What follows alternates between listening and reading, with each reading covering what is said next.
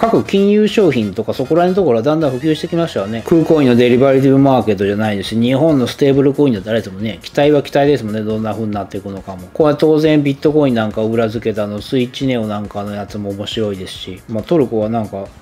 よくわからんこと言っとるなっていうのが結論になるんですけど。はい、と2019年7月9日、本日のピックアップしたニュースの紹介。まずは韓国 SK テレコムが4月1日から5月31日まで2ヶ月間、1人のお年寄りたちが AI スピーカーを通じて人工知能ケアサービスを使用したパターン分析を公開しましたよ。これこんだけのことやっとったなーっていうのが、5つの自治体に住居しているお年寄り約1150人を対象に AI スピーカーを利用した分析を公開したんですけど、これものすごい面白い結果は、これスマホやネットがない人暮らしのお年寄りなんか、むしろこの AI スピーカーの利用に積極的だったんですって。平均利用回数が58回ほどで、スマホや逆にネットを保有しているお年寄りの比べると30回で約倍ぐらい違うと思う。これすごい結果ですよね。サンプルとして多いか少ないとかって言われても、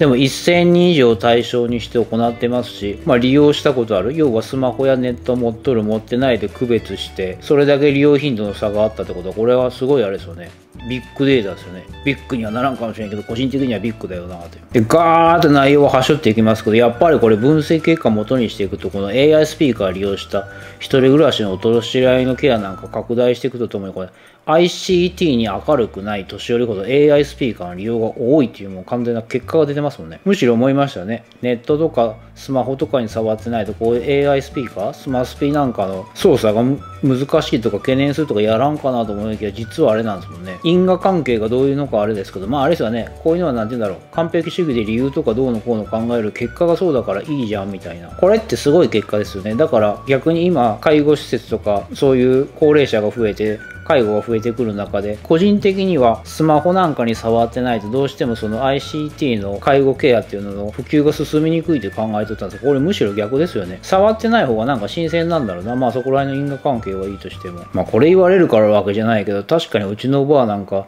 ネットもスマホも全くわからんけど墓参りとかそういう家の動画とか撮ってたまに見せるんですよ。そういうのめっちゃ喜んでほんとずっと iPad 触ら触らせんぐらい食い入るよりに見とってでも操作方法がわからんもんで触って消しちゃったりとかシュッてやっちゃったりってするのがありますけどでも本当あの何無垢な顔っていうのあれ楽しそうな顔あれはわかるわなって。なんか意外な結果ですよね。そこを完全に強調したいからこの記事に研究したんですけど。触ったことないから逆に新鮮っていうのもあるんかなって。なんか自分に関すると農業とか要はカエルとか怖いからやりたくなくてやってたことないけど。やってみると新鮮だっていう感覚に陥るんじゃないかなって。あのキャンプを初めてやったとかそういう感じ。外飯をしたとか。まあどっちみち飽きるんですけどね。なんか初体験っていうのが大事なんじゃないかなってこういうのって。あの新鮮さを得るっていう意味で。今までやったことないことたとえそれが非効率か超効率いいんだけど食わず嫌いしといて分野もあえて触ってみるというのが大事かなって自分もこれ思いますね。あの全く無駄そうに思いでやったことない分野でも。いやーこれなんか本当にいい結果だなというところで。これは韓国だけじゃなくて世界各国本当にこのスマスピ関連の特にあれですよねスマホネットに触ったことないまあ高齢者高齢者の方がどっちみちそ世代的に確率高くなるから普及してほしいですよね。別になんて言うんだろう年寄りをモルモットにして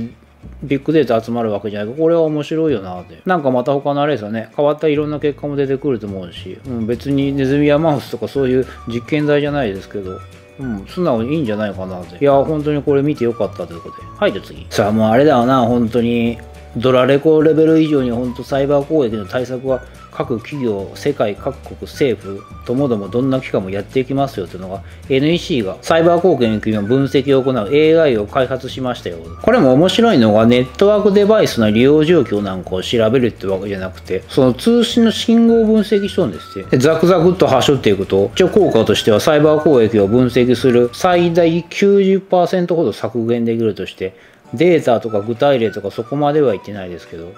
だんだんあれですよね、こういうのを開発していきますよね、どうしても。開発せざるを得ん状況ですよね。どんなとこだって本当、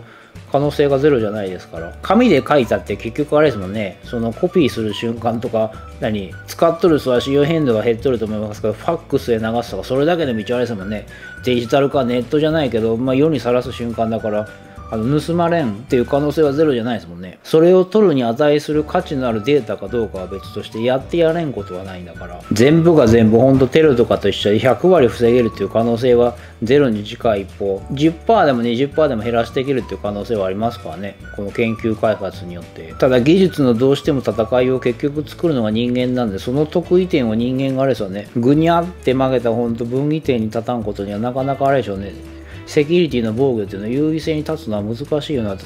本当でもこれ面白いよな。だけど攻撃する方が現状強いっていう状況が何だろうっていうところが泥棒とかと一緒とかですかね要は。あの守り慣れてないとかやられると思ってないからっていうそういう無防備意識があるんじゃないかなって。まあとにもかくにも本当にセキュリティ対策安全対策が世界の生産効率とともに安全を高める一番最善の方法ですよねというところで。はいと次。シンガポールも結構思い切ったことやってたなというのが仮想通貨の取引からサービスで GST を免除することを提案していますよ。シンガポールの IRS が先週の金曜日にデジタル支払いトークンに関する e-tax のドラフトガイドを発行して、そこの中でデジタル資産を扱う事業体を GST から免除しようとしとるということで、これが施行されていくと、デジタル支払いトークンからフィアットや他のデジタル支払いトークンへの交換に関しては、この GST から免除されていくってことなんですけど、なんですけど、なんですけど、ステーブルコイン、要はあれですがね、国内通貨なんかにペッグ固定していくようなタイプは、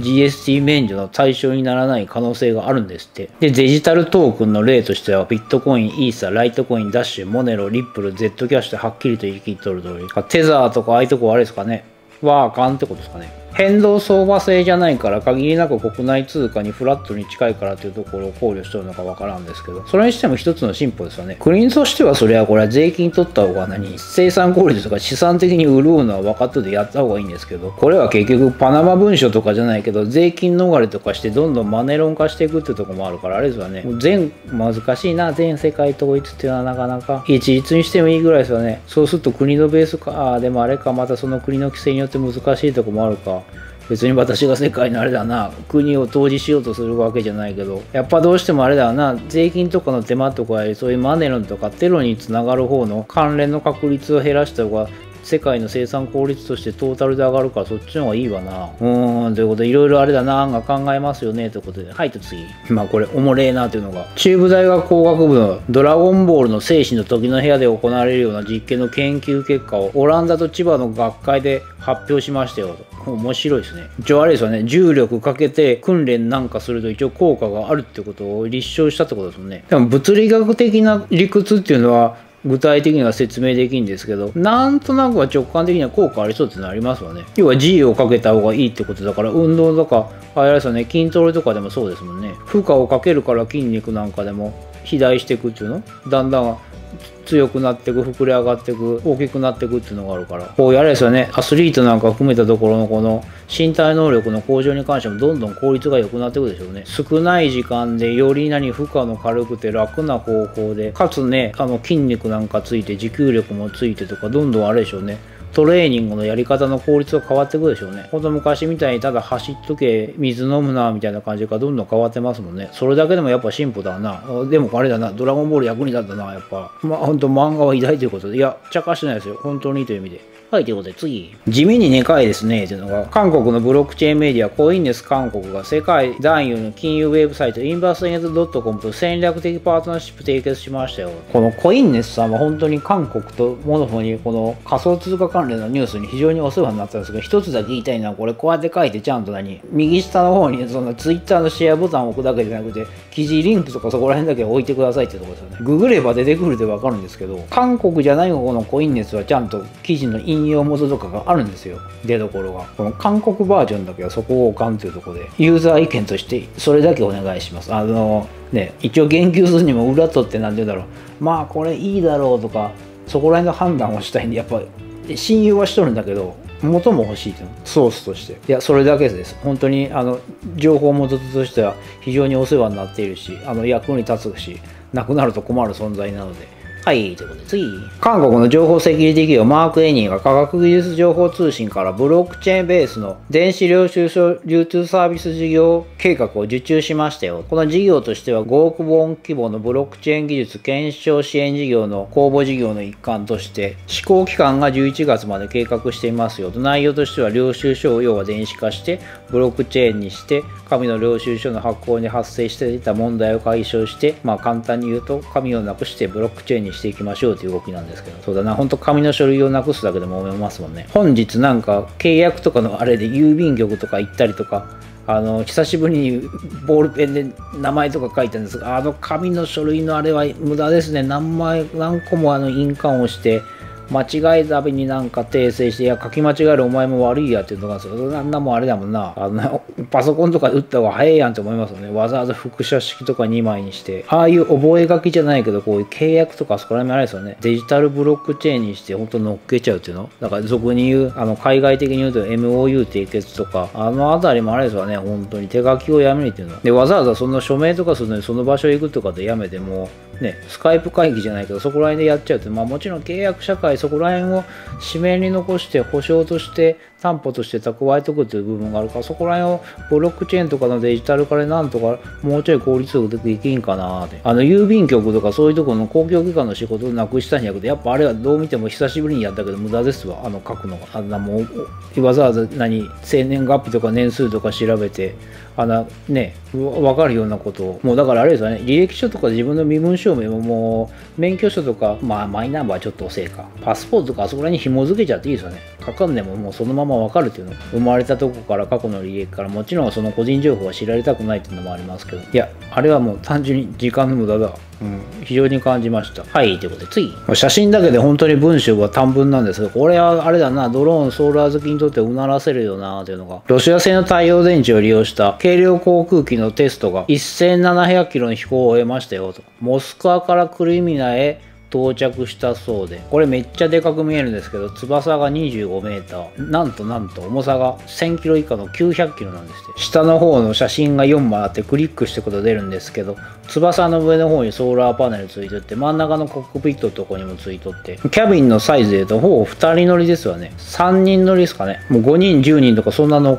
乗れるようなじゃないですけど2人乗りかな。ちょっと角度的に3人に見えるのか2人に見えるのかちょっと微妙なんですけど。すごいよなこれ。ソーラーだけで飛んだのか詳しいこと書いてないんですけどでも1700キロ飛行して重さがやっぱ1000キロ以下ってすごいですね。意外にこれ翼全面にソーラー搭載しとることはそんなんじゃなくてこの見える翼の半分もと搭載してないんですよ。この影に見えるここら辺ぐらいまでしかなくて、こんなとこまでないんですよ。いや、あれだな、ほんとソーランドロン好きとしてはやっぱりうならせるというとこで、だんだんあれだな、ほんと太陽光だけで飛べる、まあもちろん雨になったら墜落するという可能性は否定できんですけど、いや、見とってワクワクするということで。はい、じゃ次。インドの警察アカデミーが警察サービスのための仮想通貨講座をスタートしましたよ。もう意外ですね。なんかね。要はあれですよね、インド政府が仮想通貨のための規制のフレームワークを準備してる中で、これ詐欺とか要はポンジスミスキームとか、まあ言葉は一緒ですけど、どうしてもそこら辺のところに対応していかなあかんということで、やっぱ警察もあれですよね、知識武装とかしていかなあかんってことですよね。この仮想通貨を含む事件の調査としたコースで、ハイデラバードの研究所で9月の5日と6日に開催予定だそうで、これは警察だけじゃなくて、ちょっとでもセキュリティとかに関わるのはどんどんあれでしょうね、この仮想通貨関連のコース、要は安全面の対策、ハッキングに対する対策とかそういうのっていうのはもう教育のデフォルトになってくるでしょうね。特に税務署とかここら辺の当局とか警察とかそこら辺の取り締まる側に回る人たちは当然技術武装もしないかんですし、何にも無知じゃ対応できんすもんね。やりたい放題やられていくで。他の業種だってそうですわね。極端に言うと何、八百屋だってそんなデジタル化とかしていけば、まあ一般的に言うとあれですよね、スーパーとかだってそのやられない可能性とかゼロじゃないですよね。だんだん日本だってキャッシュレス進んできて、セブンだってご存知の通りですし、ファミマとかって可能性がゼロじゃないわけだから、スーパーとかってそういうとこで狙われてくるの？極端に言うと仮想通貨とか受け入れられたりしていくと、あれですよね、巨額の資金が流れてくるから、やられるという可能性ありますわね。コールドウォレット、ホットウォレット管理とかそこら辺含めたところで、だから導入していかんっていうのもあると思うんですけど、まあ本当にもう再三言ってる通り、もうセキュリティ関連はもう犬も猫も本当関係なくて対策していかなかんってことでね。はい、ということで次、そんな感じでセキュリティ関連、マネロン関連に続いていったわけじゃないんですけど、韓国の仮想通貨取引所、フォビ韓国が韓国語の入出金の制限時間を従来の72時間から120時間に増やすと発表しましたよと。これ要は国際マネロン機構 FATF が、まあ、韓国なんかこれ多いんですけど、法人口座なんかへの資金を受ける方式を使用している口座に関して規制してったってことなんですよ。っていうのはこれ要は仮想通貨の取引のための仮想口座で一応政府としては禁止していく方針にしとるんですけど要はこれ通常法人口座を開設したとこにそこの下にネズミ講じゃないけど芋づる式に投資家の口座を開いていくんですよ。なんでかっていうとこれ金融当局なんか要は銀行に関してでもこの新しく開設したとこの取引所に関してはこの実名確認の口座なんかを許可してないですよ。それによって要は法人口座を作ってそこから下の方へ派生させて口座を増やしてそこから取引していこうという、まあ、あれですわね、一応法の穴をついたじゃないけど、そんな風にしていくもんで、要はその法人口座関連の、要は入出金なんかをきつくして、要は規制を厳しくして、こういうマネロン機構なんかの対策をしていますよという、まあ表向きって言いますけど、対応のあれですよね、証ですよね。だからこれ、フォービの韓国の、例えば法人口座なんかにこれ投資金入金すると120時間、この回収ができないんですよ。にしたんですよ。で、さらにこれ、銀行の取引明細なんか求められることもあって、で、またまた不法侵金だと疑われる場合は、これ100日以上これ、投資資金が凍結される可能性もあるんですって。だからだんだんこの法人口座系っていうのはもうどんどんあれですよね、規制されてきますよね。まあ韓国はもちろんそうだけど、その実名確認とかそこら辺のとこあれですよね、その許可されていかん。特にまああれだな、取引所を開設したいんだけど、銀行とかの許可が下りんから結果的にそういう法人口座の現状の抜け道を使ってやっていくもんで、こうやってあれだろうな、だだくさに取引所が増えていったってとこでしょうね。そう考えると日本はあれか、抜け道のペンペン草すら残さんかったで逆にあれか、こういう手間が省けるっていうのもあるか。よし悪しだな、どっちも。まあ、その分韓国は逆に取引所が増えて何らかのサービスの技術の可能性っていうのが増えていくから一概には言えんですけどね。ただこれは韓国がどうのこうのじゃなくて、どの国でもこういう規制の対策抜け道っていうのはいろいろやっていくでしょうね。で、それによって危険面が増えてくると、セブンとかじゃないけど、そうやってだんだん対策してきますわね。あの、いたちごっこという意味で。韓国はとにかくこの法人口座のこれが非常に多いですよね。もう各取引所ここに依存しとるっていうところで、そこを全部多分規制すると全部ほとんどドボンになっていくでしょうね。あの、要は運営として多分成り立たんぐらいのレベルで。あいかに本当世界的に実名が求められるってとこですよね。まあこれは本当まだまだあれですよね。今日明日に解決どうのこうのっていう問題じゃなくて余計あれですよね。国際マネロンが規制なんか強化じゃないけど世界的な統一を取ろうとしてる中だから当然あれですよね。対策せざるを得んってところでしょうね。特に大手なんかは。中小なんかは逆にできんくて潰れてくってと出てくる可能性もありますわね。まあこれ銀と金じゃないけどいい機会でちょっとあれですよね。取り付けサーフィンでも起こして本当にそれぐらいの規制で潰すぐらいになって本格的なあれでしょうね。マネロン対策っていうのはなかなかあれでしょうね。難しいでしょうね。着手していくっていうのが。はい、ということで次。なかなかまだまだ普及段階なんですけど、KDDI が富士山御殿場で翻訳タクシーのテストを行っていますよ。このタクシーの中にタブレットを設置して運転手と乗客側で翻訳した内容なんかを交わしていくっていうシステムなんですけど。当然あれでしょうね。やっぱ富士山とかあるもんで外国人観光客になんかやっぱ人気があるとこでしょうね。だけど自分たちでもそうだけど海外行っても何タクシーとかじゃないといけんとかあの交通機関電車とかだけじゃなくてあのなんか人と喋らんといけんようなとこってね、やっぱあれですよね、どうしても言語の壁っていうのはなかなかネックになると思うから、そこら辺のとこで翻訳サービスを導入していったんですけど、特に日本人なんかでもそうですよね、あの、多分日本人ってほとんど日本語以外わからんはずだから、この場合で言うとタイ語とかなんかも、それはあれですよね、知っとる人ってほとんどいないでしょうね。サワディーカープとコープンカーぐらいじゃないですよ、多分。いや、笑い話じゃなくて本当に。これで本当に再三言う通りに、全く例えばおはよう、こんにちは、ごめんなさい、どこですか、これくださいとか最低限の会話もわからないぐらいの言語同士がこうやって通訳なしで会話できるようになるとあれですわね。かなりのレベルですよね。この場合で言うとタブレットとかそんな感じで利用してきますけど、何らかのデバイス、最終的にはこれネットなしとかで行えるぐらいのレベルになってくるでしょうね。もちろん当然これだけのデータだからネットにつなぐ瞬間にさらしてビッグデータとして集めたいっていうのはありますけど、さすがにあれだな、ちょっと東京オリンピックまではいろんなところの準備面であの完全な対応っていうのが難しかったけど仮説として次の機会がどうでしょう。何十年後とかに東京であった時はその時はある程度の体制が整えるぐらいの開発に行くんじゃないかなと。もちろん世界的にまあ、それ以上になっとる可能性も高いですけど。海外とかでもなかなかそうですもんね。やっぱ言語を全てサポートしてるってことじゃなくてどうしてもそこの国の母国語のある程度のことを知らないとなかなか最低限の会話っていうのはできんのが現状だから。どれぐらいいけるかってところはね。これによって本当に言語の勉強っていうのがなくなる。まあなくなるまでいかんけど限りなくゼロに近い時間になるとものすごい生産効率ですもんね、まあ、もちろん知っといた方がいいんですけどね。あの文化間の違いっていうのが全く分からんから単純に言語だけじゃ理解できんとこありますかねこれは。でも実際にあれだなこうやって海外なんかの翻訳とかサービスも使うとともに日本国内のサービスもどんな感じか使ってみたいですよね。またそんな感じに旅行行きたいとかいうジキルとハイドクが出てきますけど。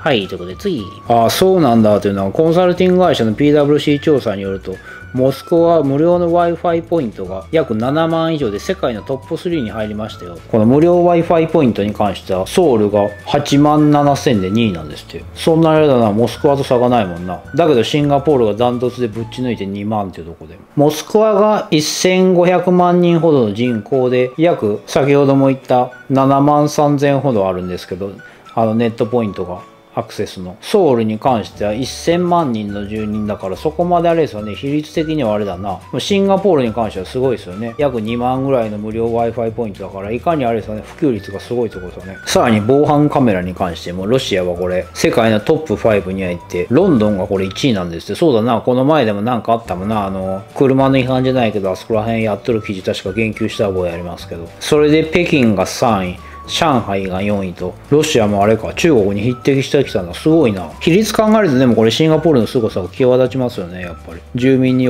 対する割合っていうのを考えると。それだけセキュリティ面も確保できとるってことですよね。無料 Wi-Fi なんかあれだもんな。金もらっても使いたくないもんな、本当に。うん、数字で見ると本当になんかすごいなってとこで。はい、じゃあ次。ブロックチェーンベースのカードゲーム、ゴッツアンチェーンドがパブリックベータ版をスタートしましたよ。これ要はブロックチェーンベースでカードなんか集めて戦っていくようなゲームです。これ絶対やりだしたらあれでしょうね。あの、多分誰でもハマるようなやつですよ。一応ゴッツアンチェーンの経歴で言うと、去年の5月にコインベースがリードした資金調達ラウンドで240万ドル集めて、でさらにプリセール中に400万枚のカードを販売して、総収入で400万ドル以上売り上げたんですって。これは個人的な意見なんですけど特にまあ熱中じゃないけど勉強がてらにほんと兼ねてやっとる英語物語と鬼物語なんかこれブロックチェーンじゃないけどそこら辺を兼ねてユーザー同士の要は集めたキャラとかアイテムとかそこら辺の交換ができるといいよなであのー、何チートしたいとかじゃなくて2アカウントでやっとるので要は何ていうとどっちかで集め合いから交換したりして何？時間効率を短縮したいんですよね。課金しやいいじゃんってそれまでですけどいや私問題解きたい人なんで別に集めたいっていうわけじゃないですよ。もんどっちかというと問題の方が集めたい人なんですよ。だからそこら辺のユーザー間の交換とかもできるようになってことかなり普及していくんじゃないかなとゲームとして。ブロックチェーンを利用して乗っける乗っけんは別としてもカードゲームとかこら辺のゲームってそうだもんな。ポチポチやってくやつって男女問わず大体ハマるしやらない人でやっとる人が多いんじゃないかな。自分の場合これ語学学習兼ねてやっとる部分が多いから逆にこれ語学学習とかなかったらドラクエとかめっちゃやりそうですよ。ハマりそうで怖いもんね手出さんっていうだけで。まあまあ素直に期待っていうことで。はいと次。この国そんなことやっとる場合にもっと他のことやることあるんじゃねえかというのがイランでは仮想通貨取引が違法と公式な見解を示していますよ いやね、なんか言いたいことないの？これ。めっちゃ、私めっちゃあるんですよ、これ。いや、お前ら取引以外に違法なことばっかやっとるじゃんって。何がここでマネロン防止議会なんかでイランでのビットコインの売買を禁止してると指摘したって。いや、もっとあれだろう。あかんことやっとるだろう。あの、あれだぞ。何でもさらけ出して表明しちゃいいってもんじゃないぞ。なんちゃらの保有量とかの叱りじゃなくて。なんか面と向かって言うと笑けてくるのはで。ただそういう意味で取り上げただけというところで。はい、じゃあ次。各取引所が本当あれだな、バイナンスのレバレッジとかじゃないけど、だんだんレスはね、こういう金融派生商品を増やしてくるよなっていうのが、仮想通貨取引所のクーコインが仮想デリバティブの取引プラットフォームのクーメックスのベータ版を公開しましたよ。これでもこのデリバティブプラットフォームのクーメックスが使用するインデックスとして、コインベースプロ、ビットスタンプ、クラーケン、ジェミナイ、リクイッド、ビットレックスなんかを含む6の取引所のビットコインのボリュームの加重平均のアメリカドル価格を使用しとるんですって。そうだわな。だんだんあれだもんな。やっぱレバレッジとかかけて証拠金とかあってねいっぱい取引してね私たちにあの 0. 何パーセントでもいいですから利材を生んでくださいね。パーねみたいなあれでしょうね。取引所的には、まあ、それだけのあれだもんな。セキュリティに対する開発を行っとるんだから当然だわな。儲けてまわんとこんなとこあれだもんな。やっとれんとこあるだろうな、まあ、常にハックにさらされてるんだから。と同時にやっぱこれだけのセキュリティをずっと保って異なる金融商品を開発していくっていう各取引所やっぱす素晴らしいと思うんですよ素直に。ハックがあれなかれ。どうしてもそこの壁っていうのは現状乗り越えてきとるんだから。やっぱあれだな。取引所とか全部含めてバイナンスの後追い感があるわな。なかなか先へ行けてないというか。それぐらい先駆者であり続けとる存在が多いから追いかけれるというところもありますけど、まあ、相場が盛り上がっていった証拠でもありますけどね。というところではい次。相変わらずウェイモはいろいろテストしとるよなというのが。ウェイモが12月から無料の Wi-Fi をテストしていますよと。さらにはこれ4月下旬にも Spotify や Apple Music なんかの Google Play Music なんか利用して乗客なんかのための広告なし音楽ストリームなんかも行っとってさらにこれすごいのがミニバンにチャイルドシールドつけてこのアリゾナの暑い中でもこれ車両がもう冷却されるようにもしとるんですね。すごいですね本当に。至れり尽くせりっていうところで。本当にリムジンじゃないけど何？VIP カーに乗ってもう送ってってもらうぐらいになってくんでしょうねこれ。このウェイモのテストのこのミニバンに関しては。1000人ぐらいのユーザーが参加しとって。これがいわゆるこのアメリカ国内の最大の規模なんですって。そうだな。ウェイモがやっとんだもんな。バイドゥとかそこら辺が出てこんぐらいはほぼあれだもんな。世界1、2だもんなこんなもん。Wi-Fi だけが確かにあれですよね。別に大きな魅力になるかっていうのは難しいところがありますけど。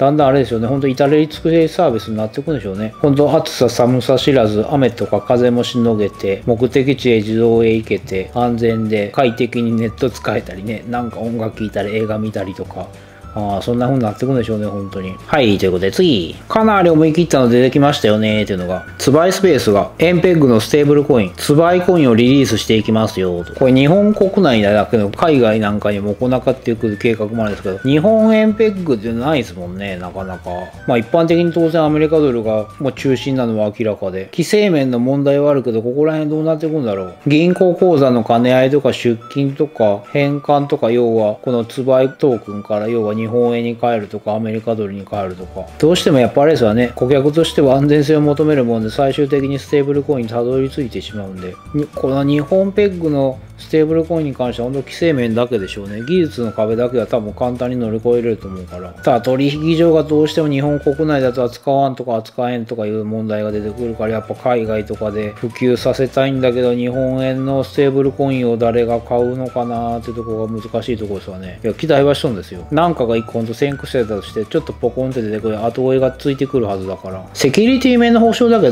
担保にできれば多分日本でもやっていけるでしょうね。そこら辺のとこで非常に懸念しとるだけだから金融庁なんかは本当に一言も喋れんぐらいの本当セキュリティを確立されればなんとかあれでしょうね。それぐらいの本当技術の開発力を期待していますということで。はい、と次。これでも本当めっちゃ問題ないよなっていうのが、認知症の人の資産が2030年には約200兆円になると試算されていますよ。これこの前も家族で飯食った時喋ってたんですけど、要は各個人資産がパスとかいろいろあるですがね、伝達とかその亡くなった時とか、まあ極端に言うと別れたりとかね、あまあ親子の縁切るってことはないか。特に自分だと仮想通貨とかあるのだと、そのハードウェアウォレットとかそこら辺で多分、多分触り方すらわからないとかね、あれって銀行口座みたいになくなったから何、受け継げるとかそういう問題じゃなくて、クワドルが CX 問題じゃないけど、あのセルフボックスという可能性がありますもんね。パスとか秘密鍵とか全てに関して伝達方法とか伝えてないと、逆に簡単なパスであのやられるという可能性もあるし、ここら辺はかなり問題ですわね。特にこれ認知症なんかになって能力とか判断能力落ちたりするとか凍結とかっていう可能性もあるから。うちでもこれそうですわね。おばあがちょっと最後の方別に最後って終わってるわけじゃないけど銀行口座の管理とかなんかがわけわからなくなった時に奪い取るわけじゃないけど通帳あれですもんねもうあの全部自分たちとか家族で管理するようにしましたもんね。っていうのは自分なんかは何？通帳なんかは渡しとったんだけど結局事務名義で口座なんか作った後あのデジタル化人間なんで要はオンラインバンクから操作できるようにしとったんですよ、まあ、口座確認とか引き出しとかそこら辺の振り込みとか含めて。保険っていう意味はじゃないけどまさかそんな事態になるとは思ってなかったですけど。第三者要は家族でも共有していくっていう制度があるじゃないかなと、まあ、もちろんそのパスの管理とか、あの、ここでは言えんような方法で行っていますけど、まあ、それはいかんな。言うとセキュリティ面の問題があるで、そういうところの壁を何らかのこういう技術のシステムで改善してくるといいわな。あの、忘れてもいいとか、そう考えるとあれか、分散型にしちゃうとブロックチェーンみたいに、あの、なくなるっていうのがあるから、こう、中央管理を残していくってこういう時は必要なんかなと、これは本当に痛感させられますよね。あの、独り身で周りに誰もおらんならいいですけど、少なくともあれだもんね、亡くなった時に相続したいぐらいの遺産とかあったり、持っとったりすると、あの、渡せんとあれですもんね。特に残ってくもんが困ってピンチになると。大体あれですよね、男とかだと、相手とか子供とかがおったりすると、どうしてもそれは考えますわね。あの、やっぱ渡したいというの人間の心情として、特にこういう法律面の凍結されるというとこがあるから、そこら辺にあれだな、なかなか銀行とか含めたこの資産管理のあり方っていうのも、このブロックチェーンとか分散型、中央型含めて、まだまだあれですよね、確立しなくて考えて、本当に思考していく問題だよなって。これは本当にあの仮想通貨やり始めて特に感じました。伝承の仕方、なくなった時じゃないけど、何かあった時に全部あの本当猿でも引き出せるよみたいな口の悪い言い方するとそういうシステムを確立して伝えていく方法が必要だよなというところで。はいじゃあ次。まあ一応どうでもいいけど触れときますけど仮想通貨取引所のビットフェニックスがトークンセールから行った収入の未公開部分を姉妹会社のテザーに対して8億5000万ドルの負債の返済に使っていると主張していますよと。要はこれビットフェニックスの損失カバーするために LEO トークンセールを行って10億ドルぐらい売ったって言われとるんですけど、言われとるんですけど、言われとるんですけど、一応これテザーに関しては1億ドルは返済したって言っとんですけど、言っとんですけど、言っとんですけど、この要はビットフェニックスがどれだけのお金に関わってるのか、収益とかそこら辺っていうのが、あの、完璧に表に出てるわけじゃないから、どうしてもユーザーサイドとしては懸念があるという状況なんですよね。なんですよね、なんですよね、そこそね。さらにこれ買い戻しとかトークンバーンとかそこら辺もやっていくってところで、さらにこの返済なんかに関しても、まあ、隠された費用なんか未公開の取引もあって、まあ、めちゃめちゃ不透明じゃんっていうとこ言われてるってところですよね。ただまあ、まあ、不透明だな、もうこんな昔から分かっとるから、それにしてもあれだな、一応なんとか返済とか言いながらもこうやって売ってったっていう、そのあれだな、プロジェクト力っていうのはすごいですよね。行動力としては。こんだけのなんていうの、黒くて不透明な存在でもあれだもんな、時価総額10以内によって、ビットフェニックスだってちゃっかり残っとるもんな。トキネックスとかそこら辺でできて、一応この LEO プラットフォームだってなんとか売っとるんだし、まあ、そこら辺は認めるべきですわね。まあ、不透明で臭いって言ったら臭いんですけど、まあまあ、ある意味どうでもいいんですけど、ということで。はい、で次はオーラス。水中の取引所にラップドビットコイン WPTC を導入することを発表していますよ。これ面白いのがこの WBTC。要はラップドビットコインって言うんですけど、これカイバーとビットコーなんかが行ったプロジェクトで、この水中ネットワークはイーサやネオ取引なんかの可能にする。ネオブロックチェーン上の分散型仮想通貨交換で、でこのスイッチ用に関してはネオと WBC のアトミックスワップを追加していく。こと面白いまたまたあれですよね、開発していきますわね。このクロスチェーンのアトミックスワップ利用して、ビットコインペグのトークンの WBTC 使ってネオ取引できるってことで、ビットコインペアっていうのもこれもだんだん増えていくんでしょうね。バイナンスがやり始めたっていうのもありますけど、DEX とかなんかだと要は国内通貨なんかを担保にしにくいっていうところをビットコインに代替しようという試みでしょうね、これは。にしても本当いろいろあれだな、面白いもんなんかコロコロコロコロ開発していくのや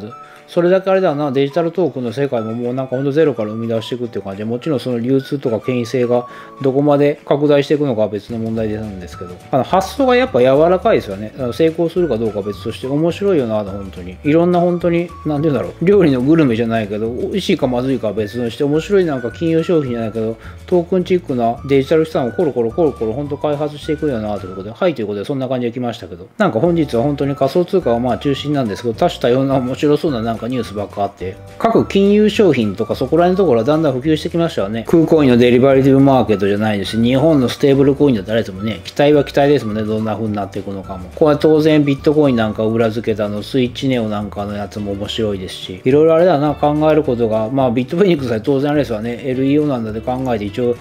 結果だけは出しとるんだし、あの不透明不透明言われとってまあ不透明なんですけど素直に本当頭が柔らかいですよね。あの韓国の法人口座の抜け道じゃないけどそこら辺もあれだなやっぱいろいろあれだな人間ってなんか追い詰めるとかって考えるんだなってあのドラゴンボールのあれだね精神届けないじゃないですしあの相談ドローンチックな1700キロぐらいの飛行でもそうですしウェイモの Wi-Fi だってまあ成功するか快適かどうか別としてもあれだなテストとしていろいろ面白いもんな本当。やっぱそう考えるとやってみるべきだよなって。まあ、トルコはなんか よくわからんこと言っとるなっていうのが結論なんですけど。はいということでそんな感じ。以上2019年7月9日本日ピックアップしたニュースの紹介でした。そんな感じ。終わり。